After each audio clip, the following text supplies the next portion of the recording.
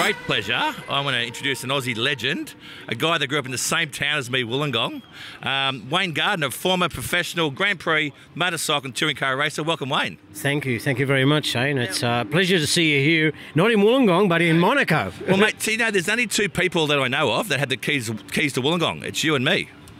Well, we are privileged. Um, I'm not so sure the, the locks are the same, but I've got a key this big. You've probably got a key this big, have you? how big is it? Is it big? Oh, that it is big. It is, So how big is it? Uh, well, it's, it's pretty big, but it goes all right. but I'll tell you what, um, do you know what that means? Apparently, if you have the key to a city, Mm. you're allowed to walk a flock of sheep down the street without A any what recourse. sheep? A what? Yeah, a flock of sheep. A, flock. a, flo- a, flo- a flock of fuck of sheep, is it? That's it, mate. so Uh, maybe we'll do that one day. Yeah, let's do that together. Yeah, that'd be good, mate. With our keys, yeah. Mate, firstly, um, we're really privileged to be here in Monaco. You actually live here now?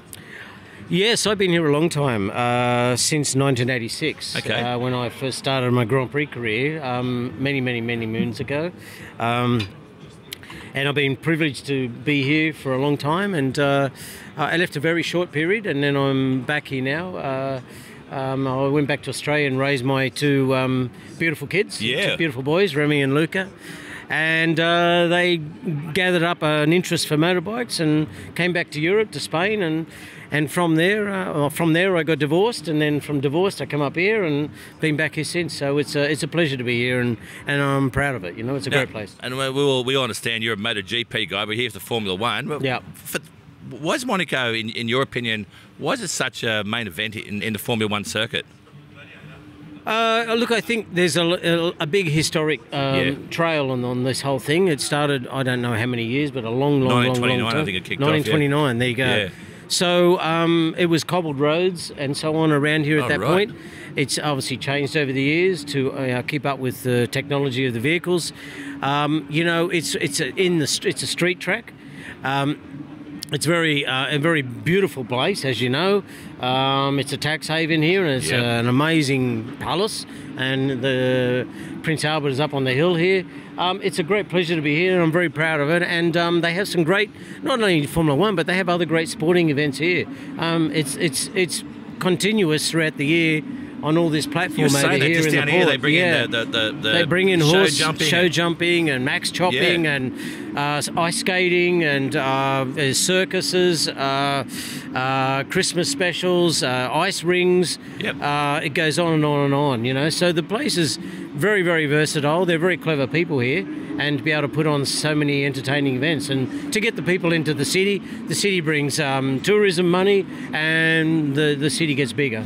Mate, re- reading, doing a bit of research for the podcast and reading through your achievements, you know, from 1987 when you won your first 500cc right through to having your own team, the touring cars. Is, is, there, is there a moment or, or, an, or event or, or a win that stands out most for you?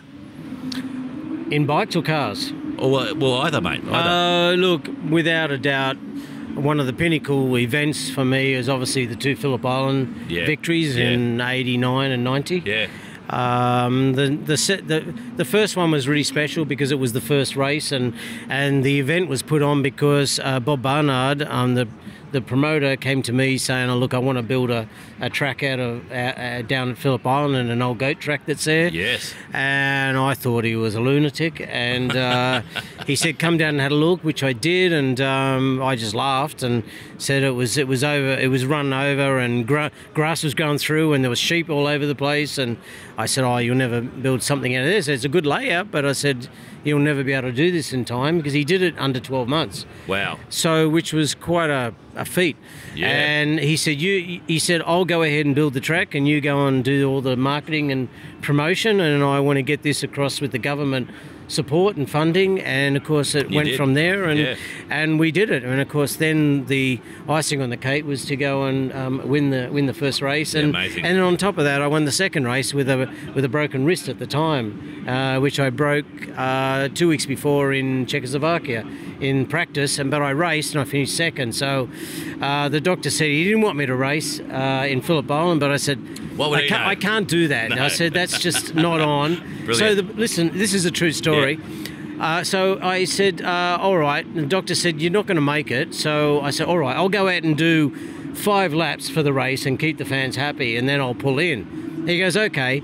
So I had uh, 25 injections in my wrist, Oh, small, wow. Small pain killing injections and some uh, tablets. so I was kind of loaded up for the pain, and on my right wrist too, my my my um, there, yeah. my throttle wrist. And uh, I went, okay. The plan is I'm going to go there and just do five laps and pull in, you know. Yeah. And and then the race started, and then I was dicing with Mick, and and then I see Mick starting to disappear. My wrist was getting sore, and and I couldn't keep up, and I went, uh, you know, I, I'm not going to make Yeah. this. And Yeah. then I went, wow, but. Now I have to give my crown up to Mick, and and I went, no, I'm not. Yeah, in. the competitive juices, and uh, yeah, I'm not going to let that happen. So I kind of bit the bullet and uh, decided that I was going to fight through the pain, and um, I rested my hand um, down the throttle down the straights at Yep. 330 Yeah, yeah. kilometres an hour, resting my fingers, trying to get the feeling back in my fingers so I could feel the front brake. And then once I did that for, you know, five or seven or something laps, and then I thought, ah, it's coming back. Actually, it feels not so bad. And then I then put my head down to see if I could catch up the three or four seconds Yep. I guess I'd lost. And, um, and I just, and then I decided that it was one of those um, special moments where I convinced myself that it doesn't hurt. And I, I just amazing. said, okay, here we go. When the pain happens, it doesn't hurt. When the pain happens, it doesn't hurt. I'm going to deal with it after, deal with it after, after the race. And I just went through that barrier and uh, had this sort of out of body experience that Yeah, here we go. that. I'm, mate, yeah. and I'm and I pushed through it and something else came over me and I just kept riding on another level that I didn't think that I had. And I caught and passed Mick. Uh, and when I passed him, the fairing was broken on my bike and it was half hanging off. So the draft of the bike was sort of sucking you in. When I passed Mick, the vacuum of the uh, that the, the marshals are talking about actually black flagging me because the fairing was dragging on the ground, but they held off because it was Wayne Gardner. He was Yeah. fighting for the So lead. it's a bit like the wacky races. Yeah, It was a bit like Wacky Races, man. And I love that TV show. Um, it, it was dragging on the ground. I didn't know that. I was just going as hard as I could. However, the bike was kind of steering left down the straight. It wanted to go towards the infield, but I just kept kept everything trying tidy and smooth as possible. Passed Mick, kept my head down and put, story. and put my head with it. Two or three laps to go. I made a gap on him and tried not to make a mistake, uh, pushing as hard as I could. And yeah, Mick's very fast, Yeah. and uh, and I managed to go on and uh, win story, by mate. I don't know half a second or a second or something. So, uh, pretty special moment in my life, and to back it up on on the '89 victory. Mate, that's that's an amazing story, and I think I, I can relate to that being a cricketer. But the, the times when you think you're not quite right, or you're not feeling well, or your preparation hasn't been perfect, and you actually convince yourself, as you said, to push through those whatever issues they are with us mentally, physically, and then you, you come through it. Uh, it's Yeah, very but- satisfying. Yeah, it is. It is satisfying, but. You know, I, I went in there with the objective to, to actually stop after five. Yeah. But but the You can't do the, the pride Yeah, the pride right, and yeah. the, you know this place is here because of my career and because of my Mm. following. My pride was I'm stubborn and Yeah. um, and I went no I'm going to give it my best shot. I'm going to give it everything. So obviously I went on to victory and the Monday morning I flew back to Sydney after the partying and the celebrations and so on and it was one of those really really special moments in my life and probably one of the special moments personally because I was riding injured and I shouldn't have been Mm. riding. So one of my mates on Monday morning rang me, um, Didier de Radiguès, and he, who's another rider, and he said, "Oh, have you had your wrist checked?" I said, "No, no, no, I haven't." He said, "Oh, he said if I was you, I'd get it checked." Sure. So when I arrived in Sydney, I went to North Shore Hospital, and um, I went to see a specialist, and um, and I, he said, and they put under an X-ray and had a look, and he said. Uh, get into bed, and I said, "What do you mean?" He goes, "Oh, It's it's very, very serious." He said, "You got to, you're going to lose the use of your wrist completely for the rest of your life if we don't do something like now." And I went, "Oh, really?" So I got into bed and um, woke up the next morning, and as you can see by the scar Yeah, on my yeah, wrist, massive scar, scar, um, yeah. and they.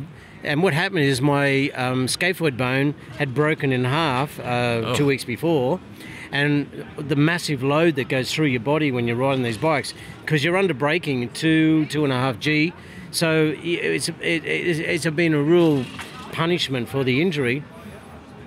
And uh, and they operated, and I woke up in the morning, and they'd opened me up on my hip and got a hammer and chisel and chiseled off pieces off my off my pelvis bone, and they packed it into my wrist and put a, a thing called a Herbert screw with a left and right um, screw into it, and they pulled it together. And I woke up. Um, I wasn't sure what hurt more.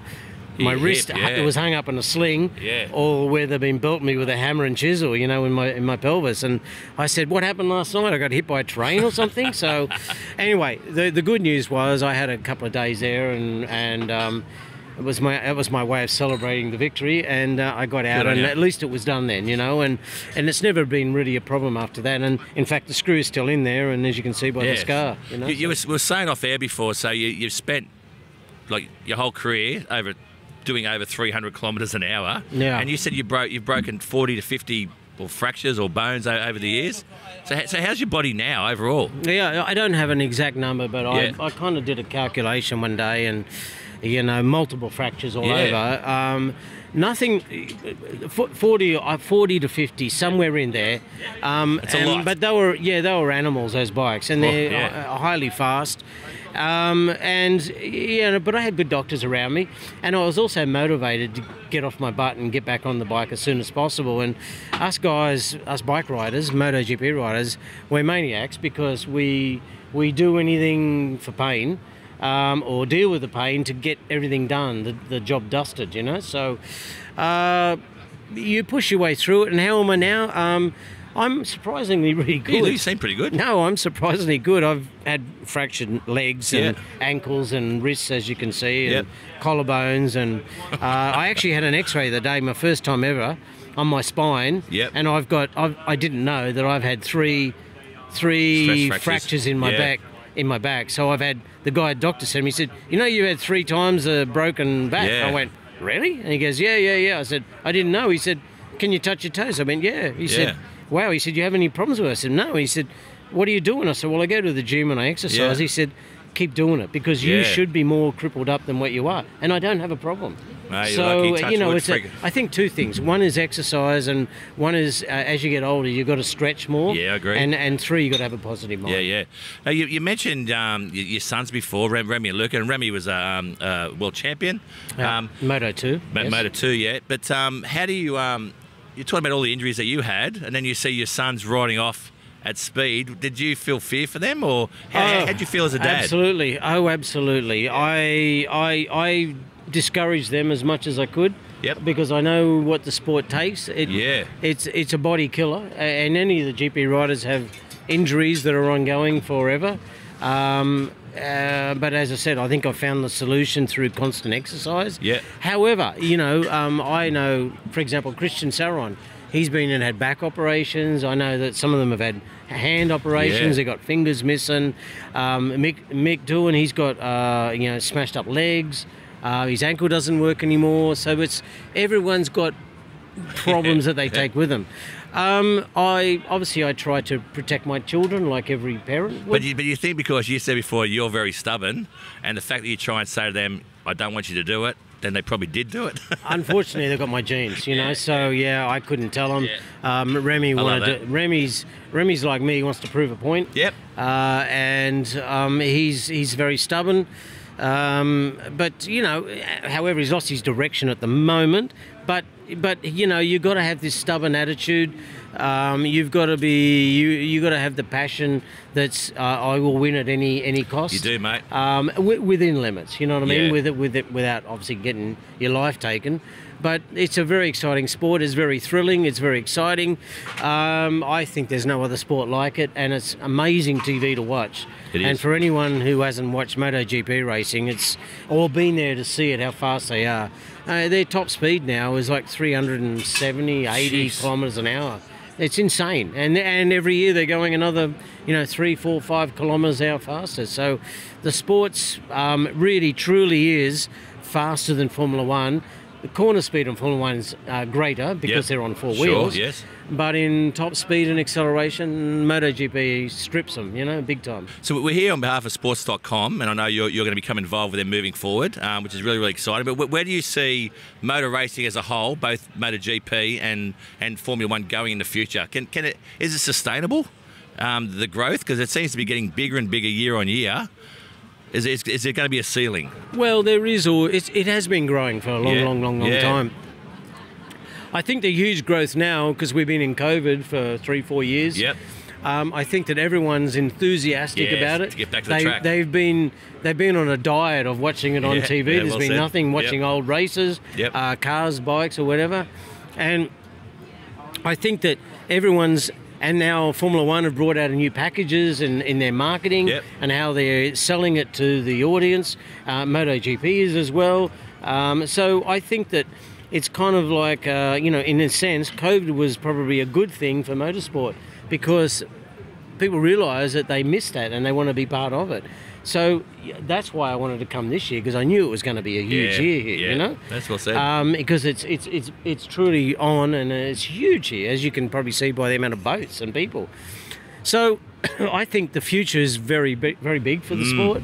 I always think that you know I always wanted to be part of MotoGP yes. um, because I think, and I seen it prior to Dorna buying it, and I was friends with Bernie Ecclestone, and, um, and so I was always interested in the business behind the scene.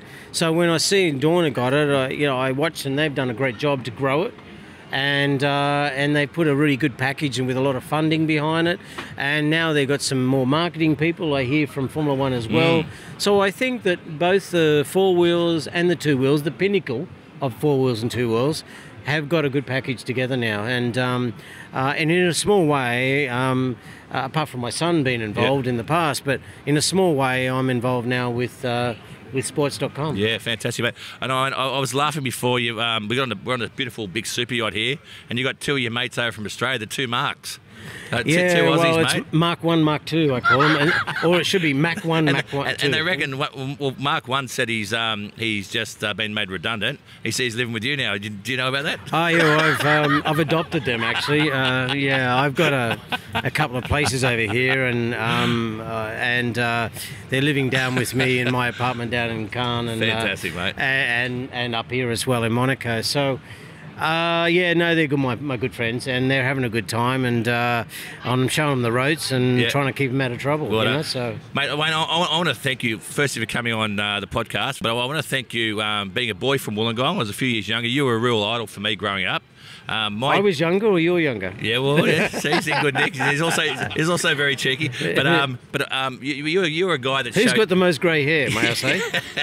Ah, me. yeah, but you, you're a guy that showed me as a young kid from Wollongong um, that uh, the, the world is a lot bigger than that that, that little area, and you, and you showed me that to, to dream big, which I did. So I want to thank you for that, mate. That, Oh, my pleasure. That's yeah. true. I, I, I, that's one, some of my rules or inspirational, you know, chats that I give to Yeah. seminars and to people and groups and so on. But the world's a small place, It is. Uh, and reach for the stars. Yeah. Because if you have big enough dreams, most important thing is you've got to start off with a huge dream. Yep. And it may, you may not achieve everything, but if you start reaching for the stars, you'll at least get halfway. Yeah. You know, at least, and, and if not more. And if you're and you're very determined, like I am, and you know, life's it's there's, it's not easy to be successful. No. You got to go out and put the hard work in. Yep, do everything. And if you put the hard work in and you dream big, Yeah. eh, life, life life gives you the rewards. It does. It does. You know. It does. Well, you're a superstar. You got way more than halfway, mate. We're really proud of you. Thanks, Thank Wayne. you. Thank you, mate. Cheers. No, it's pleasure. Thanks for tuning in to Afternoon Sport Monaco series. Don't miss an episode. Find us wherever you listen to your podcasts on YouTube or any of our social media platforms. AfternoonSport.com.